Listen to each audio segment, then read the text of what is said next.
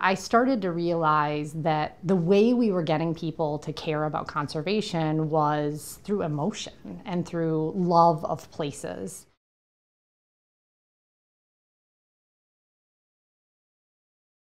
Food is the way to connect humans to environment in a way that can be delicious and special and personal and make them think about what they can get from the ground in the place where they live, what they give back to the ground. We're a nonprofit organization that is focused on changing the way America eats and farms. So we're really interested in two big ideas. One is agroecology, or how do you learn to farm in harmony with nature?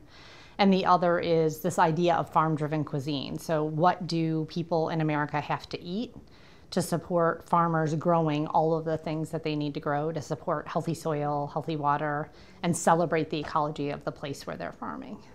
Yeah, I mean, we live in a, as you all know, in a society that is urbanizing very, very quickly. So, people 100 years ago were connected to farms and farmers, and many of us lived in rural agrarian landscapes, and most of us don't live in those places anymore. And what we're trying to do is think creatively with others about how you harness the power of nature. So, a way of working with the land to grow plants and animals that feed humans and others. And I think the most recent impact that I've created that I'm most proud of is the work that my organization Stone Barns does with young farmers. Um, we have apprentices who are at our farm. There are many who I'm very proud of. One in particular is a young man named Tyler Dennis who went to Cornell and studied fine arts photography.